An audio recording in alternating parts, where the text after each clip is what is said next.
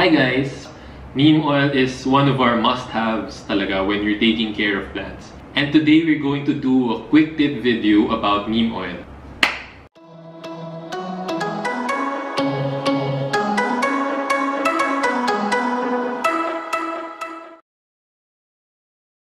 So before we get started, uh, I just want to say that this video is not sponsored. So any products that we will show are products that we have been using for from the very start. If you have any questions or if you think we missed anything, feel free to comment down below. Uh, if you like this video or our previous videos, please press the like and subscribe button.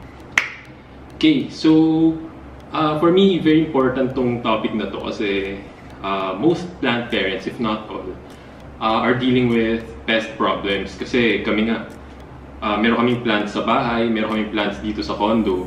And either way, nagkakapest eh. So they really find a way to make it into your plants. So one of the ways that we control our pest problem, kasi thankfully we haven't had major infestations, is we spray with neem oil every week for maintenance. So ang neem oil, um, it works in two ways. It works upon contact. Pagka kasi alam naman natin yung oil, uh, pag nasprayan mo yung pest, no, nakukoat yung body niya. So, nabablock yung respiratory system nila and then they can't breathe. So, syempre, mamamatay sila. The second way it fights pests is through azadirachtin. Yung neem oil kasi, it contains azadirachtin. Yung azadirachtin naman, it doesn't work upon contact. It doesn't kill pests upon contact. Nag-work siya kapag ka na-ingest siya ng pest.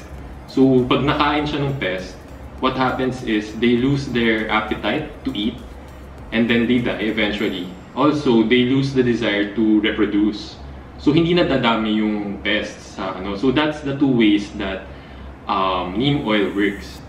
Pero, uh, we have to understand na, syempre, since gawa sa oil, yung neem oil, it doesn't mix with water. Oil and water doesn't mix, diba? So, we have to mix it with something para ma-mix siya sa water. So, ang ginagawa is, we mix it with soap. Actually, ang ginagamit namin is uh, castile soap. It's an insecticidal soap. It's very mild. It works the same way as neem oil, pero upon contact, um, nabablock ng soap yung respiratory system ng pests and then they die upon contact. The next thing I want to talk about is, are all neem oils the same? Kasi maraming uh, nagbebenta ng neem oil sa market, sa online, sa mga garden centers. Uh, for me, sa experience namin, there are three types of neem oil. Merong cold-pressed neem oil, merong hot-pressed neem oil, and then merong ready-to-spray na neem oil. So, ano yung difference nung tatlo? First, dun tayo sa cold-pressed and hot-pressed neem oil. Obviously, yung difference nila is yung process ng extraction from the neem seed or the neem tree. So, anong difference nung dalawa? I was lucky to be able to talk to the seller nung binibilan namin nung neem oil. At in-explain niya sa akin is, when you process it na cold pressed, you're getting the much purer form. Kasi pagka nag-introduce ka na ng heat, di mo na ma-iwasan na may mabago ka sa chemical structure ng substance. Kahit ano namang in-extract mo eh when you introduce heat, medyo may mababago ka na dun sa chemical uh, structure ng substance na yon. So, ang main difference nung dalawa is yung cold pressed, you're getting the much purer uh, neem oil. You're also getting a lot more of the azadirachtin. And for me, kasi yung azadirachtin, that's where your money is going eh, pagka bumibili ka ng neem oil. Kasi hindi lang siya mag-work upon contact. Nag-work din siya like a systemic pesticide. So, hindi naman ibig sabihin na hindi maganda yung hot-pressed neem oil, no? Uh, ang main difference niya is yung cold-pressed kasi medyo malakas yung smell niya. Although hindi siya mabaho. Pero for some people siguro maybe medyo nakaka-irritate yung smell. Medyo woody yung smell niya. Yung hot-pressed is also pure neem oil pero much less yung much less pure siya compared sa cold press. Pero ang advantage niya is hindi siya ganun ka-amoy. So, syempre, may binibigyan nila ng choice yung people na kung ano yung gusto nilang gamitin. Now, the third type of neem oil is yung ready-to-spray neem oil.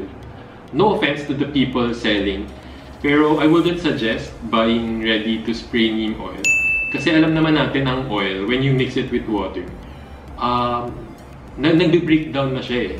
Nagbe-breakdown siya. It only lasts, I think, 8 hours before totally ma-breakdown yung oil. So, when you buy ready-to-spray neem oil, you're basically not getting your money's worth. Na-breakdown na yung oil eh. 'Di ba? So, I suggest kung bibili ka, buy the pure kind of neem oil, tapos ikaw na lang mag-mix sa water. Although, meron pa rin naman pesticidal properties yung ready-to-spray, but of course, when you're going to buy, dun ka sa mas sulit, di ba? Ito yung binibili namin. Um, it's from Urban Gardening Shop. It says here that it's cold pressed and that it contains 70% azadirachtin. So, at least dito, very clear siya na you're getting 70% azadirachtin dito sa neem oil na to. I'm not sure kasi dun sa ibang nakikita ko online or sa mga garden centers, they don't say kung ano yung process ng pag-extract nila ng neem oil. Nakalagay lang neem oil. They don't say if it's cold pressed or hot pressed. They also don't say kung gaano karami yung azadirachtin na kinocontain nung neem oil na yon. So kami, ito yung binibili namin. And so far, it has worked for us. So the next thing that we're going to talk about are the benefits of neem oil. So why do I think it's better than using chemical pesticides? Unang-una, yung neem oil kasi, it's a pesticide, it kills upon contact. It also works as a systemic pesticide uh, since it contains azadirachtin. Um, it also works as a fungicide. Although sa experience namin, uh, when you're dealing with fungi, major fungi problems, it's better to use uh, fungicide talaga instead of neem oil. Parang for experience, from experience namin, uh, yung neem oil is more on for maintenance purposes eh. Pero when you're having problems na talaga with fungi, we also use uh, fungicide. Also, neem oil works on a long list of pests, around 200 types of pests yata. So, broad range yung nako-cover niya. Also, ang advantage niya is hindi na-immune yung pest.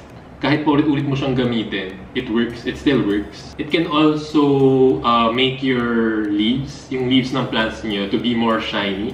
Yung iba ginagamit nila yon for ano eh, for cleaning the leaves. Also, since it's organic, um, it's not uh, harmful to children, to pets, if you have sa house nyo. Unlike yung mga chemical pesticides, That's why we choose to use neem oil kasi we have kids at home. So, pag chemical kasi there's uh, slight danger, kailangan mo maglinis talaga after using chemical pesticides. So, how do you use neem oil? Ito na yung last na pag-uusapan natin. Ang ratio ng pag-mix mo, paggawa mo ng neem solution, uh, make sure to read the instructions on the neem oil that you buy. Pero in our case, um, it says here that we have to mix uh, 1 teaspoon of neem oil and then combine it with soap. Yung soap kasi it acts as uh, emulsifying agent para mag-mix yung oil at water. So you have to mix it with soap. Although pwede rin naman gamitin yung mga regular dishwashing soap. But I am not very sure kung paano yung ratio ng pag-mix kasi mas harsh yung dishwashing soap. Eh. Siguro a few drops of dishwashing soap will do. So when you spray with uh, neem oil, the neem oil solution, make sure you get the both sides of the leaves, yung top tsaka yung bottom. Also, spray the stem kasi yung pests minsan nagtatago sila sa stem ng plant eh. Make sure that the leaves are really drenched kasi as we've mentioned kanina, it, yung neem oil nag-work siya both as upon contact and pagka na-ingest ng pest yung azadirachtin uh, you have to really drench the plant para ma-make sure mo na natamaan mo yung mga nagtatagong pests. Also, you can use the neem oil as uh, pandilig. Instead of watering with water, you can pour the neem solution sa soil. Ma-absorb ng plant mo yung azadirachtin. Tapos may iwasan mo na bumalik na yung pest. When they suck on the plant, ma makakain nila yung azadirachtin eh. Also, sometimes there are pests hiding in the soil eh. So, from time to time, binubuhusan namin ng neem solution yung soil namin. When you spray with neem oil, make sure that you're only spraying very early in the morning and late in the afternoon. Pero if you ask me, uh, it's much better if you spray late in the afternoon instead of sa morning kasi lalo ngayong summer dito sa Philippines, uh, mainit na yung sun eh, kahit morning pa lang. So, may tendency kasi na makaburn ng leaves yung neem oil. Since it's oil, makoat yung leaf ng plant mo ng oil eh. So, may tendency na pag natamaan siya ng sun, masusunog yung leaf. So, I suggest uh, spraying late afternoon around 5 p.m. to 5.30 p.m. Kami, we use neem oil on a week-to-week basis, once a week. But if you have major infestations in your plants, you can use neem oil as much as twice a week. Uh, pansin namin kasi yung neem oil, it doesn't work uh, immediately. Yung pagka-spray mo, kinabukasan, wala na agad yung pest, eradicated agad. It doesn't work that way. Usually, pansin namin, sa experience namin, uh, neem oil works siguro mga 2 to 3 sprays. After 2 to 3 sprays, doon mo mapapansin na nawala na yung pest sa plants mo. It doesn't work uh, instantly, unlike yung mga chemical pesticides. So, that's it. Uh, hopefully, like us, you won't have any major infestations of pests by using neem oil. Um, ganun lang kadali gumamit ng neem oil. For us, it's a much better option than chemical pesticides. Uh, I hope you try it out and let us know in the comment section. Tan